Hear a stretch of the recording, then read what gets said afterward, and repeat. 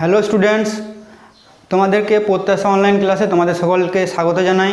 আজকে আমরা আবার চলে এসেছি জীবনবিজ্ঞানের ক্লাস নিয়ে। তো আজকে তোমাদের, আগের দিনে তোমাদের যে ক্লাসগুলো হয়েছে সেগুলোরই কন্টিনিউয়াস ক্লাসগুলো আজকে হবে। আজকে দেখো তোমাদের কোষ চক্র নিয়ে একটা অধ্যায় তোমাদের জীবনের প্রভাবনতা চ্যাপ্টার অর্থাৎ দ্বিতীয় চ্যাপ্টারে একটা টপিক আছে। সেই টপিক নিয়ে আমরা ডিটেলস আজকে আলোচনা করব।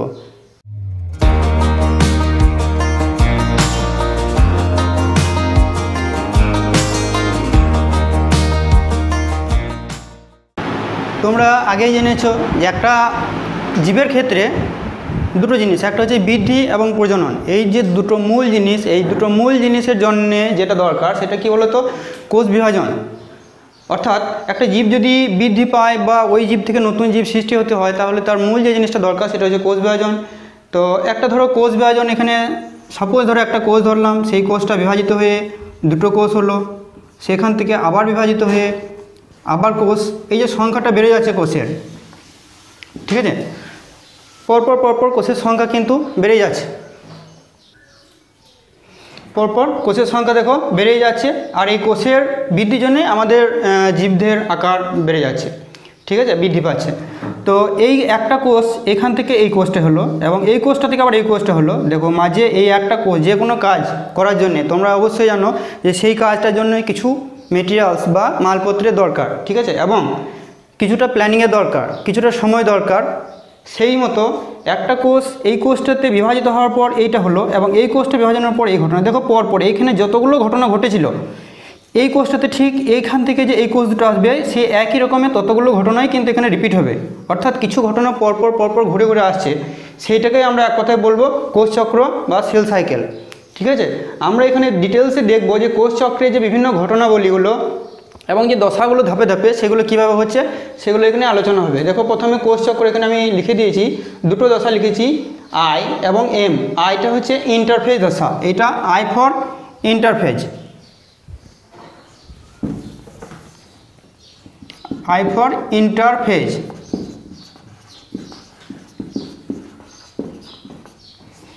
এটা বুঝতে পারছ? দুটো দশার মধ্যবর্তী দশা ইন্টার এবং ফেজ মানে হচ্ছে দশা। বা এই দশাটার আরেকটা নাম হচ্ছে বিশ্রাম দশা। অর্থাৎ বিশ্রাম দশা, এই দশায় কিন্তু কোষ বিভাজন হয় না। অর্থাৎ এখানে কি হয় তাহলে? কোষ বিভাজনের জন্য যে সমস্ত যাবতীয় কাজকর্মের দরকার, সেই সমস্ত কাজকর্মগুলো এখানে ঘটে থাকে।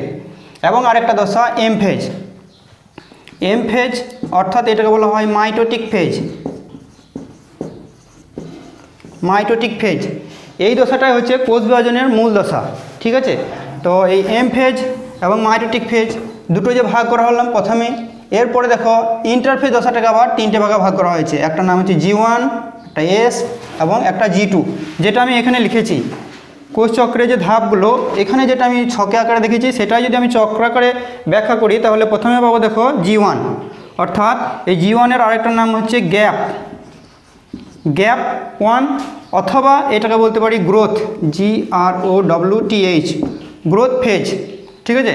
Growth phase one, gap one অথবা গ্রোথ ফেজ ওয়ান। এটা একটা হলো জি ওয়ান দশা। তারপর লিখেছি G two G two S G টুটা লাস্টে হবে। এস দশাটা এই দশাটা পুরো নাম হচ্ছে সংশ্লেষ দশা বা সিনথেসিস ইংরেজি নাম synthesis S Y N T H E S I S synthesis বা এটা বলব সংশ্লেষ দশা।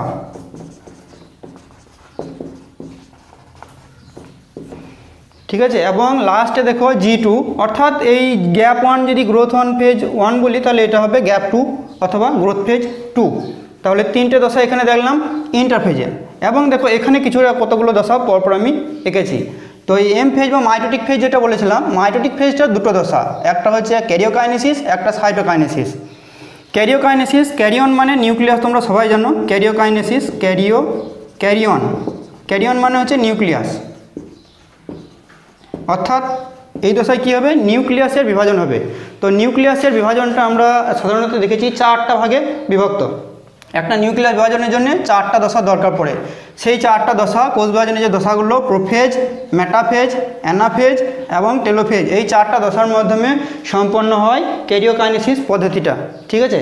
এবং ক্যারিওকাইনেসিস সম্পূর্ণ হয়ে যাওয়ার পর, অর্থাৎ এখানে দেখো প্রোফেজ ম্যাটাফেজ অ্যানাফেজ টেলোফেজ এই চারটা দশা যে লিখেছি সেটা আমি বলেছি ক্যারিওকাইনেসিস এরপরে আরেকটা দশা থাকে, সেইটাকে বলা হয় সাইটোকাইনেসিস। সাইটোকাইনেসিস সাইটোকাইনেসিস থেকে নামটা বুঝতে পারছ? সাইটোকাইনেসিস মানে সাইটোপ্লাজমের বিভাজন। ঠিক আছে? অর্থাৎ এখান থেকে এত দূর পর্যন্ত আসার পর এখান থেকে দুটো কোষ সম্পূর্ণভাবে আলাদা হয়ে যায়। সাইটোপ্লাজম আগে নিউক্লিয়াসটা বিভাজন হয় দুটো নিউক্লিয়াস হলো তারপরে সেখান থেকে দুটো সাইটোপ্লাজমটা ভাগ হয়ে দুটো সম্পূর্ণ অপত্য কোষ তৈরি হয়। ঠিক আছে? এরপর তাহলে এখানে আমরা যে দশাগুলো দেখলাম এই গ্যাপ ওয়ান বা গ্রোথ ওয়ান এই প্রতিটি দশার কার্যপদ্ধতি কীভাবে করে তাদের কী কাজ সেইগুলো সম্পর্কে তোমাদের আলোচনা করতে হবে। এটা হচ্ছে কোষচক্রের আহ, মূল জায়গা। কোষচক্র সম্পর্কে যদি লিখতে দেওয়া হয় পরীক্ষায় যে কোষচক্রের গুরুত্ব বর্ণনা করো অথবা কোষচক্রের যে বিভিন্ন ধাপগুলো অথবা ইন্টারফেস দশা যে বিভিন্ন জি ওয়ান এ জি টু যে কোনো একটা ছোট্ট করে যদি লিখতে দেওয়া হয় জি ওয়ান দশার কাজ কি? এই দশায় কী কী সম্পন্ন হয় কাজ? সেগুলো ব্যাখ্যা করো। তো প্রথমে আমরা দেখব জি ওয়ান দশা। এই জি ওয়ান দশায় যে কাজগুলো সম্পন্ন হয়, এখানে নিউক্লিওটাইড নিউক্লিওটাইড তোমরা আগের ক্লাসে পড়েছো।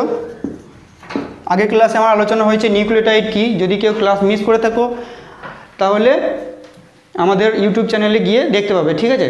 তো নিউক্লিওটাইড যেটা হচ্ছে আমরা জানি ডিএনএ এবং আরএনএর গঠনগত উপাদান। অর্থাৎ ডিএনএ এবং আরএনএ এখানে যখন দেখব আমরা, একটা কোষ দুটো কোষে রূপান্তরিত হবে। আমরা জানি এটা যদি টু এন হয়, অর্থাৎ ক্রোমোজোম সংখ্যা ডিপ্লয়েড টাইপ, এবং এর ক্রোমোজোম সংখ্যা যদি টু এন টু এন হয় সদৃশ্য বিভাজন, সমান বিভাজন বলা হয়। তাহলে এখানে যে ক্রোমোজোম সংখ্যা আমরা টু এন দেখলাম, এখানেও টু এন দেখলাম। অর্থাৎ এখানে যদি ক্রোমোজোম ফর্টি সিক্স থাকে, এগুলোতেও দেখো ফর্টি সিক্স করে আসছে। তাহলে ফর্টি সিক্স করে কোথা থেকে পাবে? নিশ্চয়ই এটাকে ডুপ্লিকেট কপি করতে হবে। অর্থাৎ এখান থেকে আগেই ছিচল্লিশটাকে ডবল করে নিতে হবে। অর্থাৎ এখানে একটা ডিএনএ ধরো আছে এখানে। একে দেখে আর একটা ডিএনএ বা ক্রোমোজোম তৈরি করতে হবে। তবেই কিন্তু সম্পন্ন হবে এই জায়গাটা। তাহলে আমাকে একটা ডিএনএ আছে আর একটা ডিএনএ, কারণ ডিএনএ দিয়ে আমরা জানি ক্রোমোজোম তৈরি হয়। তাহলে আবার একটা ডিএনএ তৈরি করার জন্য কি দরকার আমার? নিউক্লিওটাইড। নিউক্লিওটাইড ছাড়াও একটা কোষ বিভাজনের জন্য আরও অনেক কিছু দরকার, amino acid. Amino acid. Amino acid কার গঠনগত একক? আমরা জানি প্রোটিনের গঠনগত একক, প্রোটিন তৈরির জন্যে। তারপরে এগুলো হচ্ছে এই দশাতে কিন্তু সংশ্লেষ হয় মানে নতুন করে তৈরি হয়। আর আরএনএ। আরএনএও এখানে কিছুটা তৈরি হয়। অ্যামাইনো অ্যাসিড মানে অর্থাৎ এখান থেকে তৈরি হবে কি? প্রোটিন। এবং এর পরবর্তী যে দশাটা, সিনথেসিস দশা বা সংশ্লেষ, এই দশার মূল জায়গা হলো এখানে ডিএনএটা ডবল হয়। এটা যেটা বলেছিলাম আমি, প্রতিটি কোষ বিভাজনে যে ডিএনএ দরকার, সেই ডিএনএ ডবল অর্থাৎ ক্রোমোজোমটা ডবল হবে। এই ক্রোমোজোমের ডবল হওয়ার জন্যে যে সমস্ত উৎসেচকগুলো লাগে, সেই সমস্ত উৎসেচকগুলো এখানে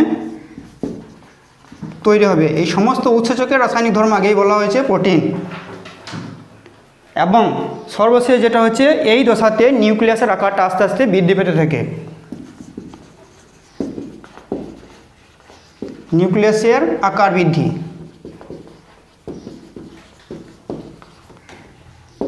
নিউক্লিয়াসের আকার ধীরে ধীরে বৃদ্ধি পেতে থাকে। তাহলে আমরা প্রথমে দেখলাম জি ওয়ান দশার কী কী কার্যপদ্ধতি এই এই কাজগুলো জি ওয়ান দশায় ঘটে থাকে। এবং মানুষের ক্ষেত্রে একটা কোষ বিভাজিত হতে টাইম লাগে পুরো চব্বিশ ঘণ্টা সময় নেয়। পুরো চব্বিশ ঘণ্টা সময় নেয়। তার মধ্যে এই মাইটোটিক ফেজ অর্থাৎ এম ফেজটা এইটা ঘটতে সময় লাগে এক ঘণ্টা। ওয়ান আওয়ার ঠিক আছে? এক ঘণ্টা সময় নেই এইটা জীবন দশাটা সময় নেয় দশ ঘণ্টা। এস দশাটা সময় নেয় ন ঘণ্টা। এবং তাহলে এটা কত থাকবে আর? দেখো, দশ, আর এই দশ, তাহলে আর চার পড়ে রয়েছে, এটা হলো চার ঘণ্টা। মানুষের ক্ষেত্রে। অন্যান্য অন্যান্য জীবের ক্ষেত্রে এটা কারও ক্ষেত্রে কম হয়, কিন্তু আমাদের ক্ষেত্রে চব্বিশ ঘণ্টা হয়, সেটা। এবারে দেখব আমরা, জীবান দশাটা সম্পূর্ণ হয়ে যাওয়ার পর, এরপর দেখব আমরা এটা আমি মুছে দিচ্ছি এখানে, জায়গাটা সমস্যা আছে জীবন দশা, এরপর দেখব আমরা এস দশা। এস দশাতে মূল যে জায়গা, যে মূল জিনিসটা হয়, সেটা হলো ডিএনএ প্রতিলিপিকরণ। প্রতিলিপিকরণ, অর্থাৎ এখানে ডিএনএটা ডবল হয়। আগেই বলেছি ডিএনএ ডবল হওয়ার মূল কারণ কেন হয়? কারণ দুটো কোষ দরকার, দুটো বা চারটা যেখান থেকে হোক, ক্রোমোজোমের পরিমাণটা বাড়াতে হয়। এখানে সেন্ট্রিওল সেন্ট্রিওল বলে একটা জিনিস আছে যেটা তোমরা আগেই নবম শ্রেণীতে পড়েছো যে সেন্ট্রিওল থেকে বেমতন্তু গঠিত হয়। ঠিক আছে? এই বেমতন্তুটা গঠিত হওয়ার জন্যে একটা কোষে যে কোনো কোষে বেমতন্তু এভাবে নব্বই ডিগ্রি কোণ করে দুটো একসঙ্গে মিলিত হবে। টোটালটাকে বলা হয় সেন্ট্রোজম। এইটা বিভাজিত হয়ে দুটো আলাদা আলাদা ভাগে হয়ে এইখানে একটা চলে গেল আর এখানে একটা গেল। একটা কোষ যদি এভাবে বিভাজিত হয়, দুই প্রান্তে চলে যায়। কারাই এক একটাকে বলা হয় সেন্ট্রিওল অর্থাৎ সেন্ট্রিওলের বিভাজন। তাহলে দেখো, এই দশার ঘটনাগুলো বলছি আমি। ডিএনএ প্রতিলিপিকরণ, সেন্ট্রিওলের বিভাজন হলো, এবং সর্বশেষ যে জিনিসটা হয়, এখানেও নিউক্লিয়াসের আকার বৃদ্ধি পায়। নিউক্লিয়াসের আকার বৃদ্ধি।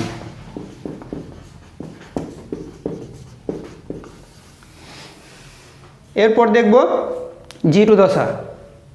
জি টু দশার ঘটনাগুলো আবার সেই একই রকমভাবে দেখব জি টু দশা। এই জি টু দশাতে যে ঘটনাগুলো ঘটে, ধরো এখানে ডিএনএটা প্রতিলিপিত হয়ে যাওয়ার পরে ডিএনএ সংখ্যা বেড়ে গিয়েছে, কোষ বিভাজনের জন্য পুরোপুরি পরিপূর্ণভাবে রেডি এই সময় যদি কোনো কারণে ডিএনএ ক্ষতিগ্রস্ত হয়ে পড়ে, কোনো কারণে, ধরো হঠাৎ করে তুমি রোদে ঘুরলে বা যে কোনো অনেক সময় আলট্রাভায়োলেট রের জন্য হতে পারে, তো ডিএনএটা যদি ক্ষতিগ্রস্ত হয়, তাহলে সেই ডিএনএটা মেরামতির কাজটা এই জায়গাতে হয়।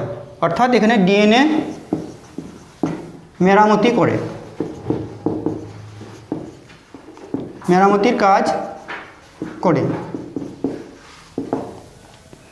এবং এখানে কিছু পরিমাণে আরএনএ ও প্রোটিন সংশ্লেষ হয়। কিছু পরিমাণে আরএনএ ও প্রোটিন সংশ্লেষ তাহলে আমরা দেখো জি ওয়ান দেখলাম, জি ওয়ানের কাজ দেখলাম, কতক্ষণ সময় নেই মানুষের ক্ষেত্রে সেটাও দেখলাম। দশ ঘণ্টা এস দশা দেখলাম এস দশার কাজ দেখলাম, এটা সময় নেই মানুষের ক্ষেত্রে ন ঘণ্টা জি টু দেখলাম জি টু কী কী কাজ সেগুলো দেখলাম এবং এটা মানুষের ক্ষেত্রে সময় নেই চার ঘণ্টা। এরপর দেখব আমরা প্রোফেজ, মেটাফেজ, অ্যানোফেজ এবং টেলোফেজ। এই দশাতে নিউক্লিয়াসটা বিভাজিত হয়। নিউক্লিয়াসটা বিভাজিত হওয়ার পর লাস্টে এই যে এখানে দশাটা বলেছিলাম, এই দশাটা হলো ক্যারিওকাইনেসিস এবং এই জায়গাটা বলেছিলাম সাইটোকাইনেসিস। এই ক্যারিওকাইনেসিস ঘটার পর এই জায়গাতে অনেক সময় কোষটা স্টপ হয়ে যায় বিভাজন। এই দশাটাকে জি জিরো বলা হয় অনেক সময়, অথবা এই জায়গাতে কোষ বিভাজনে অনেক সময় বন্ধ হয়ে যায়। তো এই যে কোষ বিভাজন বন্ধ হয়, কেন বন্ধ হয়, কে নিয়ন্ত্রণ করে? এই যে নিয়ন্ত্রণ, এই নিয়ন্ত্রণ বলে যে কথাটা আসছে, এই নিয়ন্ত্রণ অর্থাৎ কোনো একটা কোষ বিভাজন, ধরো এটা আমি বললাম চব্বিশ ঘণ্টা টাইম লাগে, সময় বললাম চব্বিশ ঘণ্টা। যদি কোষটা দশ ঘন্টায় বিভাজিত হয়ে যায়, তাহলে কী হবে? ধরো এখানে আমার একটা হাত আছে হাতের এই জায়গাটা ধরো, কোষ অসংখ্য হারে বিভাজিত হচ্ছে। যে টাইমের মধ্যে হওয়ার কথা ছিল, সেই টাইমের আগেই হয়ে যাচ্ছে। মানে অনিয়ন্ত্রিত কোষ বিভাজন। তাহলে এখানটা আস্তে আস্তে কী হবে বলো? ফুলে উঠবে। এটা কি বলা হয়? টিউমার। এবং এই টিউমারটা প্রথম দিকে হলে সেটা বলা হয় কি? বিনাইন টিউমার মানে যেটা ক্ষতিগ্রস্ত নয়। কিন্তু এইটাই যদি ক্ষতিকর ক্ষতিকর টিউমার হয়, এবং এই টিউমার কোষগুলো যদি ছড়িয়ে পড়ে আমাদের শরীরে, সারা শরীরে সেটা একটা নাম আছে, সেগুলো আমি বলছি পরে। তো এইটাকে তখন বলব ম্যালিগনেন্ট টিউমার অর্থাৎ টিউমার সৃষ্টির সম্ভাবনা রয়েছে। তো এই সমস্ত জায়গাগুলোকে দেখাশোনা করার জন্যে যারা থাকে, তাদেরকে বলা হয় চেক পয়েন্ট এইখানে একটা সাধারণত টোটাল এই কোষ চক্রের মধ্যে তিনটে চেক পয়েন্ট থাকে। একটা G one S checkpoint G two M এবং এম চেক পয়েন্ট তাহলে আমরা চেক পয়েন্ট এখানে কটা পেলাম? জি ওয়ান এস অর্থাৎ জি ওয়ান এবং এস এই মাঝে একটা চেক পয়েন্ট এখানে থাকে। জি টু এম এর এখানে একটা থাকে এবং এম চেক পয়েন্ট এখানটাতে একটা চেক পয়েন্ট থাকে এম তো চেক পয়েন্টের কাজগুলো কীরকম দেখব দেখো? ধরো এখান থেকে আহ, এখানে যে শর্তগুলো দরকার মানে এস দশাতে যে সমস্ত যাবতীয় মেটেরিয়ালসগুলো দরকার সেগুলো আমরা আগেই জেনেছি যে জীবন দশায় সংশ্লেষিত হয়। যদি কোনো কারণে এই দশাতে যে প্রয়োজনীয় জিনিসগুলো এখানে সংশ্লিষ্ট না হওয়ার আগেই সঠিকভাবে সংশ্লিষ্ট হয় নাই, তা সত্ত্বেও কিন্তু দেখা গেল কোষটা এই দশায় প্রবেশ করে গেল। অর্থাৎ এখানে চেক পয়েন্ট সঠিকভাবে কাজ করল না। চেক পয়েন্টের দরকার ছিল কি? ওকে, ঠিক দশ ঘণ্টা পরেই ছাড়ার কথা ছিল। কিন্তু এটা হয়তো পাঁচ ঘণ্টা কিংবা আট ঘণ্টা আগেই ওকে ছেড়ে দিয়েছে। তাহলে কোষটা কী হবে? যা টাইম লাগার কথা ছিল, সেই টাইমের আগেই কোর্সটা বিভাজিত হয়ে যাবে, অর্থাৎ অনিয়ন্ত্রিত কোর্স বিভাজন হবে। এবং এই রকম এইখানে সেম একই জিনিস এখানটাতে কোষ বিভাজন দেখা গিয়েছিল যে সম- সমস্ত সম্পূর্ণভাবে রেডি হয়েছে কিনা কোষটা বিভাজনের জন্য। সেটাও যদি এখানে ত্রুটিপূর্ণ হয়, তাহলে সেটা হচ্ছে G two M check point তাহলে G one S check point যদি পরীক্ষাতে দেয় চেক পয়েন্টের গুরুত্ব, তাহলে জি ওয়ান এস চেক পয়েন্টের কাজটা বলবে তোমরা যে এখানে যাবতীয় শর্তগুলো পরিপূর্ণ না হলে সেটা এস দশায় যেতে বাধা দেয়। এবং এই বাধাটা যদি পরিপূর্ণভাবে বাধা দেওয়া হয়, যদি কোষটাকে একদম বিভাজন থেকে বন্ধ, একদম স্টপ রেখে দেয়, তাহলে সেই দশাটাকে বলা হয় জি জিরো দশা। অর্থাৎ এই দশাটা কোনো দিন আর বিভাজিত হবে না। বিশ্রাম দশায়, সম্পূর্ণ বিশ্রাম দশায় চলে যাবে, ঠিক আছে? এইরকমই কোষ আমাদের শরীরে দেখা যায়, উদ্ভিদ কোষে দেখা যায়। সাধারণত জি জিরো দশায় একটা উদ্ভিদ কোষ হলো স্থায়ী কলা। স্থায়ী কলার যে কোষগুলো থাকে উদ্ভিদের, সেগুলো সবই হলো জি জিরো দশায় থাকে। আর ভাজক কলার কোষগুলো কিন্তু অনবরত বিভাজিত হচ্ছে। এবং তাহলে আমরা দেখলাম জি জিরো দশা উদ্ভিদ কোষের ক্ষেত্রে মানে স্থায়ী কলার যে কোষগুলো থাকে সেগুলো কোনো দিন বিভাজিত হয় না। ভাজক কলারগুলো তো বললাম যে বারবার বিভাজিত হয়। এবং প্রাণীদের ক্ষেত্রে আরবিসি তোমরা সবাই জানো, লোহিত রক্তকণিকা, তারপরে হচ্ছে স্নায়ুকলা। স্নায়ুকলার কোষগুলো, অর্থাৎ স্নায়ু কোষ স্নায়ু কোষগুলো কোনো দিন বিভাজিত হয় না। এবং পেশিকোষ। এইগুলো কিন্তু আমাদের সারা জীবন স্থির দশায় অর্থাৎ বিশ্রাম দশায় থেকেই যায় জি জিরো দশায় অর্থাৎ, ঠিক আছে? এবং এরপর দেখব আমরা G two M checkpoint G two M check পয়েন্টে এটা বলা হবে যে ডিএনএ মেরামতি সম্পূর্ণ হয়েছে কিনা, সেগুলো চেক করে। এখানে নিউক্লিয়াসে আকার ঠিকঠাক আছে কিনা, সেগুলো চেক করা হয়। এবং কোষটা পরবর্তী অর্থাৎ মাইটোটিক ফেজে প্রবেশ করার মতো শর্তগুলো পূরণ হয়েছে কিনা সেগুলো সমস্ত দেখাশোনা করে G two M check point আর এম চেক পয়েন্টের কাজের পর এম চেক পয়েন্ট এর কাজ হলো, আমাদের বললাম যে সেন্ট্রিওল বেমতন্তু গঠনে সাহায্য করে। সেন্ট্রিওল যদি কোনো কারণে বেমতন্তু গঠন না করে, তাহলে কি হবে? ক্রোমোজোম, এই যে কোষ বিভাজন হবে, ক্রোমোজোমটা মাঝে আছে, এই দুদিক থেকে সেন্ট্রিওলগুলো বেমতন্তু গঠন করে, বেমতন্তুগুলো আটকায়। তারপরে কোষটা দুদিক থেকে বেমতন্তু টানার ফলে, সংকোচনের ফলে এইদিকে দুটো কোষ বিভাজিত দুদিকে, ক্রোমোজোমগুলো দুদিকে চলে যায়। তো এই বেমতন্তুটা ক্রোমোজোমের মধ্যে আটকেছে কিনা সেটা এই এম চেক পয়েন্ট দেখাশোনা করে। যদি এটা না হয়, তাহলে কোষ বিভাজনটা হবে না। অর্থাৎ এখানেও জি জিরো দশায় কোষটা চলে যেতে পারে। ঠিক আছে? তো এইটা হলো আমরা দেখলাম checkpoint G one S G two M এবং এম তিনটি চেক পয়েন্ট এবং প্রতিটি চেক পয়েন্টের গুরুত্ব আমরা দেখলাম। এরপর দেখব এই যে চেক পয়েন্টগুলো এই চেক পয়েন্টগুলোকে দেখাশোনা করার জন্যে একটা প্রোটিন আছে। সাধারণত দুটো প্রোটিন এখানে দুটো কাজ করে কাজ করে। একটার নাম হচ্ছে সাইক্লিন। সাইক্লিন নামক একটা প্রোটিন যারা হচ্ছে এই চেক পয়েন্টগুলোকে নিয়ন্ত্রণ করে, এর চেক পয়েন্টগুলো দেখাশোনা করে। এবং আরেকটার নাম হচ্ছে সিডিকে সিডিকে এর পুরো নাম হচ্ছে সাইক্লিন ডিপেন্ডেন্ট কাইনেজ।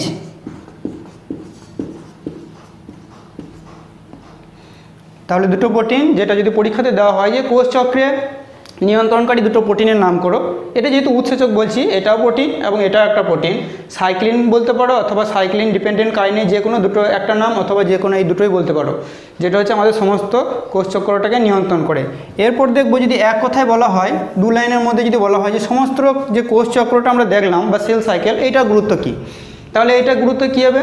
এটা গুরুত্ব হবে বলবে একটা কোষকে দুটো কোষে বিভাজিত করতে সাহায্য করে সম্পূর্ণরূপে সঠিকভাবে এবং এখান থেকে যদি চেক পয়েন্টগুলো সঠিকভাবে কাজ করে, তাহলে কোষ একদম ত্রুটিহীনভাবে কোষটা বিভাজিত হবে এবং যদি চেক পয়েন্টগুলো সঠিকভাবে কাজ না করে, এই কথাটাও ঘুরে আসতে পারে এখানে, যদি চেক পয়েন্টগুলো ঠিকঠাকভাবে কাজ না করে, তাহলে কোষটা থেকে টিউমার সৃষ্টি হতে পারে, ক্যান্সার কোষ। টিউমার সৃষ্টির সম্ভাবনা হতে পারে ক্যান্সার হওয়ার সম্ভাবনা হতে পারে। ঠিক আছে? এই টিউমারের কোষগুলোই যদি ক্ষতিগ্রস্ত হয়ে পড়ে, তখন সেটা ক্যান্সারে রূপান্তরিত হয়ে যায়। একটা শরীরের মানুষ শরীরে ধরো, এখানটাতে ক্যান্সার কোষ সৃষ্টি হয়েছে। একটা টিউমার সৃষ্টি হয়েছে। বিনাইন টিউমার পরবর্তীকালে এটা হয়ে গেল ক্ষতিগ্রস্ত। যখন আরও দ্রুতভাবে বিভাজিত হবে, তখন এটা হয়ে গেল ধরো ম্যালিগন্যান্ট ক্যান্সার এই ম্যালিগন্যান্ট ক্যান্সারের কোষগুলো যদি এখান থেকে শরীরের অন্য কোনো জায়গাতে ছড়িয়ে পড়ে এই ছড়িয়ে পড়া ক্যান্সার কোষে ছড়িয়ে পড়াকে বলা হয় মেটাস্টেসিস